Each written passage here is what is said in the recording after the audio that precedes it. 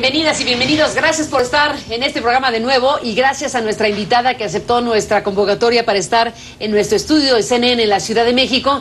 Gracias a la doctora Laura Rubio Díaz Leal.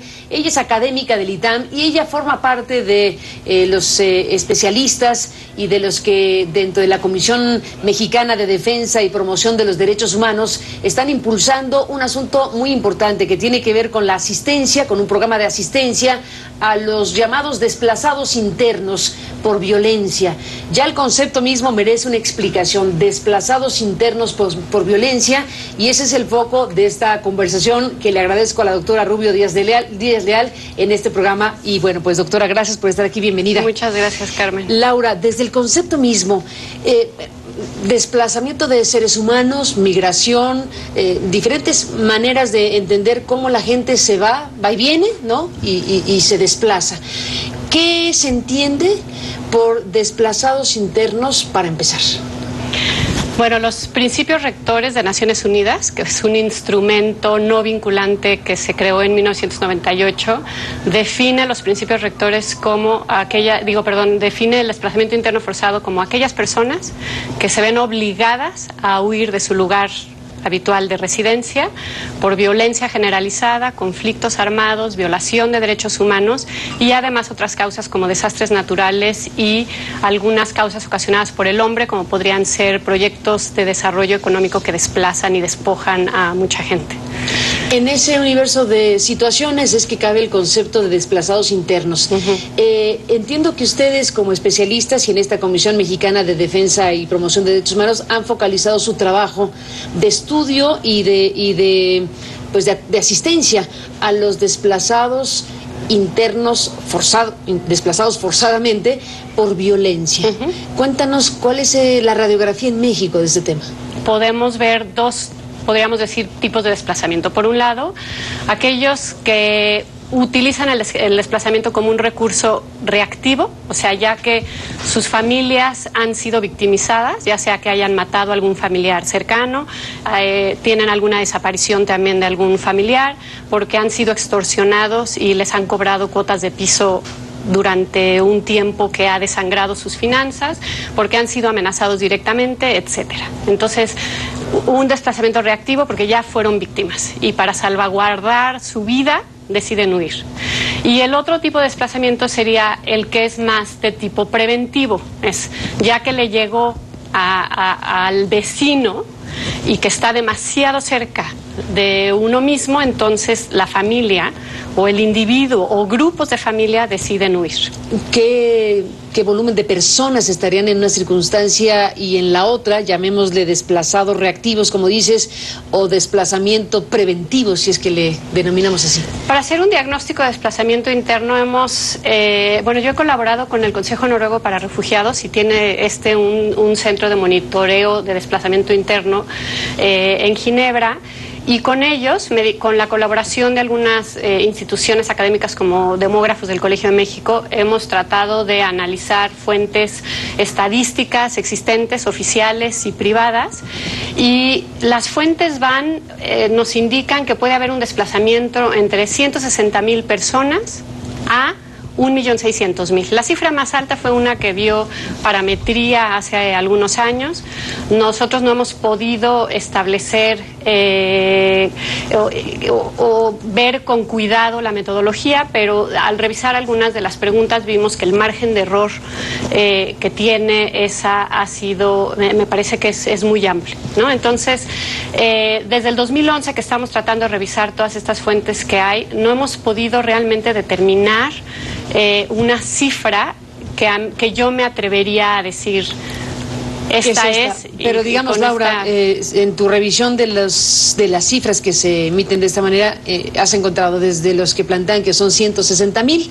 Esa es la más segura. ¿La más segura? Esa es la más segura, sí. Y esa es con la que yo de alguna manera he porque es trabajado. por lo menos 160 mil. Y, porque es, con evidencia, con evidencia numérica y cualitativa. ¿La proporción a quién? La de 160 mil. Vino una parte de un estudio que llevaron a cabo en la Universidad Autónoma de Ciudad Juárez en el 2010, eh, en donde ahí se establece que 230 mil personas habían huido de Ciudad Juárez solo en el 2010. Entonces, eh, de, esta, de esta cifra, de 230 mil 230 mil personas. 230 mil personas solo, de Ciudad Juárez. En el año 2010. Solo de Ciudad Juárez, es una cifra Entonces, pero de esas 230 mil eh, establecen que la mitad cruzaron la frontera con Estados Unidos. Y eso suponemos entonces que los otros 115 mil se quedaron en territorio nacional. Hay algunos demógrafos que, que proponen o que argumentan que esa cifra es difícil de evidenciar numéricamente con información censal. Entonces, aún siendo el margen de error reconocido, es realmente lo único que tenemos. ¿No? Entonces, de ahí tenemos esa cifra. Luego, si nosotros contamos, por ejemplo, los desplazados que no han tenido una respuesta por parte del Estado, que son los desplazados por el conflicto zapatista y que a la fecha siguen en una situación de, desplazamiento prolongado y que siguen sin tener asistencia de ningún tipo. Hay cifras que, se han eh, dado entre 25.000 y 30.000, solo de Chiapas. Eh, de ahí podemos también tener, de acuerdo a estimaciones que dieron en algunas comisiones estatales como la de derechos humanos, como la Comisión de Sinaloa, en donde se habla de que alrededor de 2.000 familias pudieron haber eh, salieron de Sinaloa o de Culiacán, Mazatlán y de otros municipios por la violencia. A la hora que nosotros, por ejemplo, tratamos, hemos tratado de eh, dar un seguimiento, porque podríamos decir que el desplazamiento se puede dar de dos maneras también. Desplazamiento masivo, que son cuando comunidades enteras salen, porque viene una amenaza directa, los Zetas este, amenazan directamente a una comunidad en Tamaulipas o en donde sea, y entonces toda la comunidad sale corriendo y se refugian en el municipio de Alado. Eh, o bien esos obviamente son muy visibles, la prensa los registra, eh, se habla en, en, varios medios, etcétera. Pero, y el más preocupante me parece y el más difícil de diagnosticar, es el desplazamiento que se da gota a gota es una amenaza que viene directamente a mi familia, porque yo tengo algo que le interesa al narco, dinero o lo que sea. Después de un tiempo mi familia ya no puede más, ya ha sido violentada constantemente y entonces yo agarro mis chivas con, mis hijos y, puede ser mi familia nuclear o bien mi familia extendida con mi mamá y mi papá, dependiendo qué tan fuerte sea la amenaza. Y entonces yo me voy. Ese desplazamiento nadie lo registra. Nadie en lo ningún lado queda registrado. En ningún lado las, personas no podían decírselo a nadie, a qué autoridad, a quién, y aún, a quién se informa de eso. Si tuviéramos, por ejemplo, eh, que el desplazamiento ocurre en el 2014 y tenemos la fortuna que en el 2015 viene el conteo de población eh, que lleva a cabo el INEGI. En ese conteo de población necesitaría haber preguntas como muy desagregadas para poder evidenciar justamente ese desplazamiento. O sea, de dónde se fueron, a dónde se fueron. Y las razones. Y las razones. Eso no está censado en ningún lado. No, en el 2010 no había esas preguntas tan desagregadas. O sea, ni la causa que, pudiera también establecer que no fue miseria, desempleo, eh, etcétera, sino que fuera este, directamente una causa de victimización. La dificultad de acceder a información o de tener pues registro de este tipo de fenómenos, como dices, el que se va forzadamente de su lugar de vivienda o de casa por, porque o le pasó algo directamente o le pasó algo al de al lado y se va preventivamente. No hay registro pues eh, estrictamente en ningún lado. Y hablabas de el censo que no contempla, por ejemplo, algún tipo de pregunta así y me decías en el corte de alguna otra medición que se puede acceder a ella y que dé alguna pista. Bueno, de entrada hay algunas instancias, por ejemplo, eh, la encuesta nacional de ocupación y de empleo del año pasado, la encuesta de, de, victimización y percepción de seguridad pública, la ENVIPE, en su versión del 2012 y 2013, también eh, eh, otras eh, que, por ejemplo, hay una encuesta que se va a aplicar, que se aplica este año, que es la de dinámica poblacional, y en ellos nosotros hemos eh, tratado de promover que se incluyeran algunas preguntas que nos ayudarían a conocer este fenómeno. Entonces, para la encuesta del 2014, eh, esas preguntas parece que ya se incorporaron y entonces podremos a fin de año tener alguna aproximación que va a ser muy importante. Idealmente sería eh, el conteo de población. Yo insisto que es ahí en donde, sobre todo porque es eh, el INEGI es el que tiene más redes y que llega a más poblados que ninguna otra organización existente. Entonces, eh, a mí me parece que la asignatura pendiente es para el INEGI y que con, con ese compromiso de, de, algunas preguntas que nos puedan dar o nos arrojen datos más confiables y más globales del territorio nacional. Del fenómeno de los desplazados internos por las diferentes razones, incluyendo la, de la violencia. Ustedes, como parte de esta Comisión Mexicana de, de, Defensa y Promoción de los Derechos Humanos en este programa de asistencia, eh, ¿con qué se han topado? Porque además de las cifras y de la dificultad de las mismas, etcétera, ustedes han tenido la experiencia directa y viva de testimonios, de historias específicas. Cuéntanos de eso. ¿Qué es lo que qué es lo que ayuda a explicar y a entender y a saber de lo que pasa con estas personas? paradójicamente algunos funcionarios públicos eh, nos han referido con familias para que nosotros eh, establezcamos un perfil del desplazamiento interno forzado. Por otro lado, eh, a raíz de que con el Consejo Noruego para Refugiados y desde el ITAM, eh, las dos organizaciones solicitamos una audiencia ante la Comisión Interamericana de Derechos Humanos el año pasado y nos fue concedida, presentamos el problema ante la OEA, ¿no? la Comisión eh, Interamericana. Ahí eh, realmente la respuesta vino, me parece que de fuentes equivocadas, de fuentes gubernamentales, porque estaba el subsecretario Roberto Campa y estaba la directora de CONAPO. En mi opinión, no es un tema de prevención, o sea, en el largo plazo sí tendría obviamente que incluir un tema de prevención, pero no es, no es un tema de, pre de prevención, sino de asistencia y respuesta. Eh, y a raíz de, de prevención esa, y asistencia y respuesta, sí. pero lo que estabas buscando era la asistencia era una y la asistencia respuesta. inmediata, porque esta gente está obviamente en condiciones de gran, gran vulnerabilidad. Eh, el problema, a raíz de, de, la, de, esta audiencia, que fue el primero de noviembre del 2013, eh, hubo gente que se empezó a acercar más a nosotros. Y, y, fue víctimas y conocidos de víctimas y conocidos de conocidos de conocidos de víctimas. Y de esa manera, eh, gradualmente hemos tenido acceso a, más familias. Hemos hecho trabajo de campo en Sinaloa, en Veracruz, en Aguascalientes, en Chihuahua. Eh, y eh, con esto... Han creado información, déjame te interrumpo Laura porque lo dijiste hace rato, para elaborar por lo pronto un perfil. Uh -huh. ¿Y cuál es ese perfil? Realmente no, no, no, yo no me atrevería a hablar de un tipo de perfil porque son varios tipos. O sea, tenemos desde los de alto perfil, podríamos decir, que son funcionarios, familias de funcionarios que son amenazados o, o de hecho familiares, por ejemplo, de alcaldes que han sido asesinados eh, y que salen huyendo. Algunos piden asilo en Estados Unidos y otros se quedan al interior del país protegidos con una identidad, etcétera. Tenemos periodistas amenazados también que salen huyendo de sus comunidades de origen o silenciados por autoridades corruptas o por alguna razón o por el narco, lo que sea. Tenemos eh, empresarios que, se, que se, salen de zonas eh, violentas y a lo mejor se van a Querétaro o se van a Puebla o se van a algunas otras ciudades donde, donde se percibe que hay un ambiente más seguro. Esos son los que podríamos decir que son de alto perfil. Tienen recursos a su disposición para hacer los cambios y la movilidad, ¿no? Eh, y lidiar con el empezar en un entorno nuevo. Eh, luego tenemos campesinos, campesinos que son despojados eh, de sus tierras, son obligados a vender sus tierras a un costo mucho menor al valor para eh, que se puedan ahí cultivar ilícitos y, otro tipo de cosas. Eh, tenemos también eh, desde pequeños propietarios de negocios este, eh, heladerías, salones de belleza, tintorerías y demás que son extorsionados por el narcotráfico, son obligados a pagar la famosa cuota de piso y después de, un desangre de finanzas acaban huyendo, ¿no? porque algún mes no pudieron pagar y entonces son amenazados, son lastimados y entonces tienen que huir. ¿no?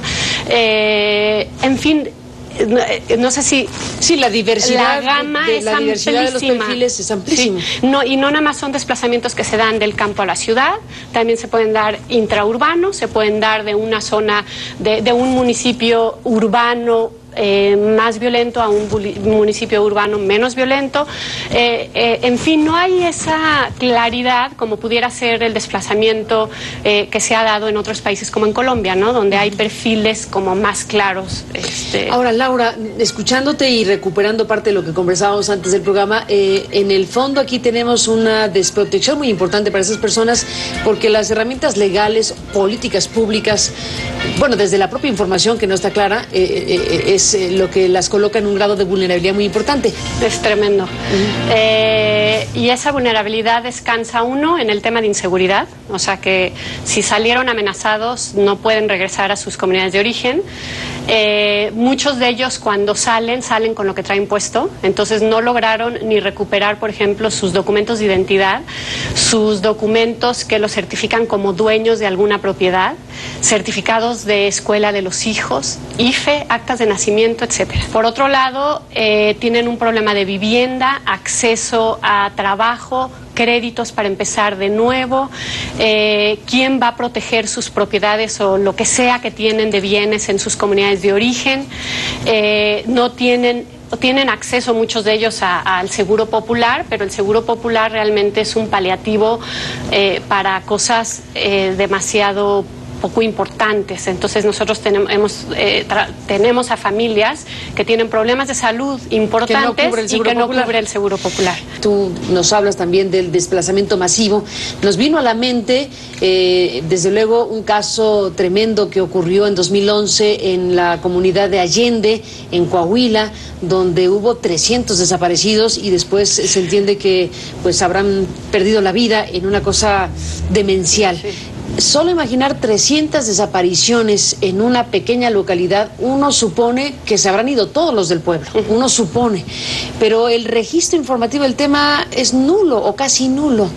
Eh, ¿Qué información tienen ustedes de los desplazamientos masivos en los datos que puedan obtener de donde los obtengan. El seguimiento que nosotros hemos seguido nos indica que desde el finales del 2011 a la fecha se han registrado alrededor de 92 casos de desplazamientos masivos y por masivo nosotros podemos entender entre 5 y 10 familias porque hay algunos, eh, es difícil saber el, el, la prensa cuántos miembros eh, dice que una familia tiene, ¿no? Pero bueno, desplazamientos masivos, 92. Y dentro de estos que quedaron registrados en la prensa. En la prensa, que son solo en ocho estados de la República. Y en esos ocho estados no hemos encontrado ningún desplazamiento masivo en Veracruz y en Coahuila, pero nosotros tenemos evidencia testimonial de que ha habido desplazados de esos estados.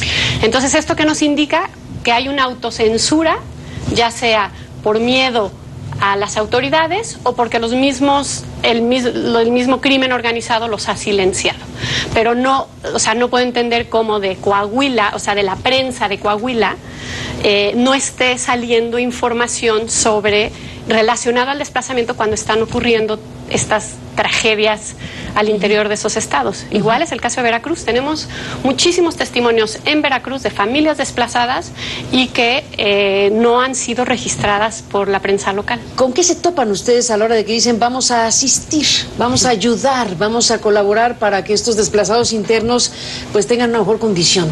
¿Con qué se hace eso? El objetivo de haber llevado el caso a la Comisión Interamericana de Derechos Humanos el año pasado era justamente el desatar una respuesta por parte de las autoridades. Del Estado mexicano. Del Estado mexicano. Y eso ha venido con una lentitud extraordinaria y esa fue un poco la frustración que nos motivó, a mí por lo menos como académica, a pasar del estudio a la acción, ¿no? al poder de alguna manera diseñar con el apoyo de organizaciones internacionales un programa de asistencia integral para tratar de ayudar a estas personas a que hagan, rehagan su vida de cero. Y eso para nosotros ha sido un, estamos yendo contracorriente, nos ha sido increíblemente difícil hacer entender a autoridades dentro de la CEP, dentro de la SAGARPA, dentro de eh, eh, eh, las diferentes instancias, bancos, eh, y demás, el que estas personas son víctimas y como víctimas requieren de un trato especializado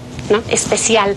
Eh, eh, y, esta parte el, eh, me parece que es reflejo de una gran ignorancia que realmente no tienen por qué saberlo, ¿no?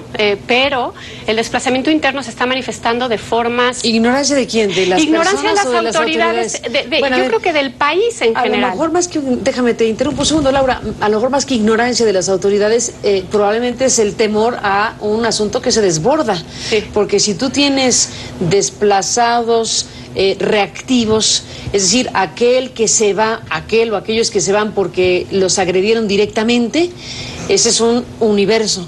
Pero si tú dices, también son víctimas los que se desplazaron preventivamente porque su entorno y su vecino les estaba pasando eso, tú dices, esos también son víctimas.